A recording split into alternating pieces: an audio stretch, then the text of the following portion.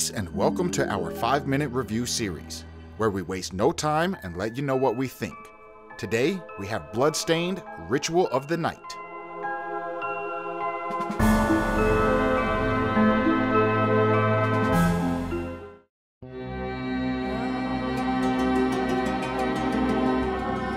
A game that was brought to life on Kickstarter with almost 65,000 backers that pledged around $5.5 million.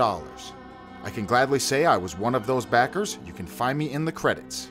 You can also find Uncanny X member Kratos. This is an action adventure platformer in the style of a Metroidvania, a side scrolling 2.5D game created by Koji Igarashi of Castlevania fame and there are plenty of similarities in the two, from weapons to enemies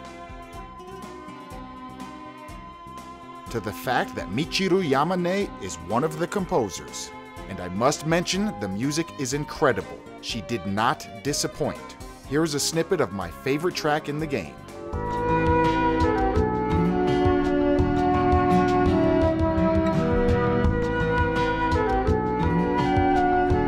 The map in this game is Iga's biggest to date. He and the devs went out of their way to make it their biggest. You can find all sorts of different terrains and environments. Desert, water,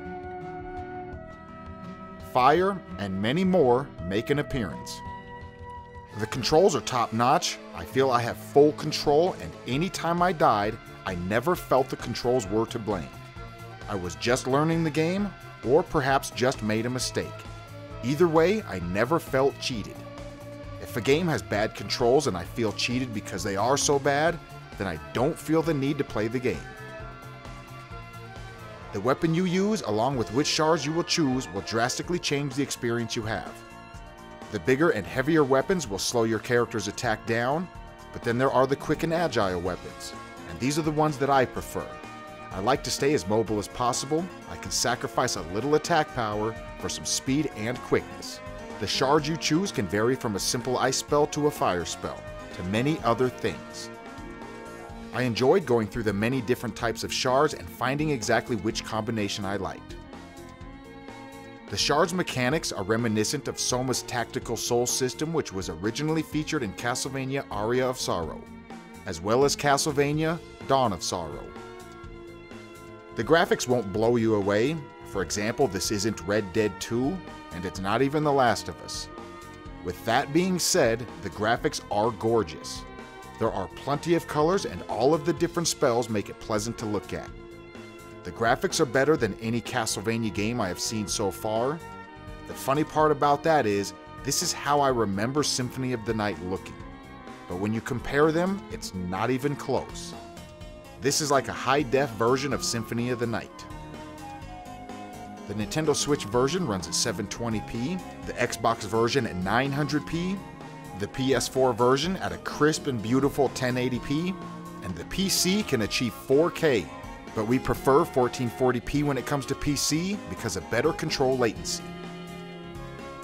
This isn't the longest game in the world, but if you do side quests and attempt to obtain trophies, you can get a lot more out of it.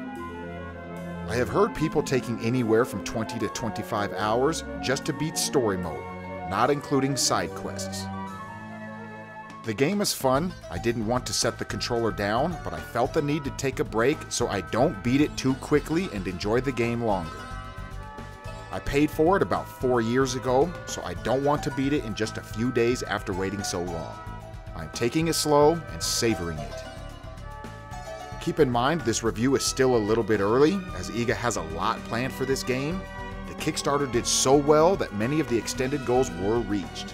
Maybe I will come back in a year or so and review all of the extras in the game then. It's not an expensive game, I usually see it for around $30, and for that price, this game receives the ICC stamp of approval. I am ICC, thanks for watching, peace.